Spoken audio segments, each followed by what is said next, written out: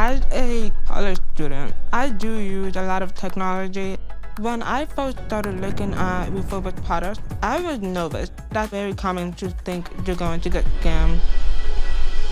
I discovered Reebelo. Reebelo was very organized. I did not do one battery room, and that's what prompted me to find the iPad and the Apple Watch. Reebelo was definitely worth the money. There's nothing more to be skeptical about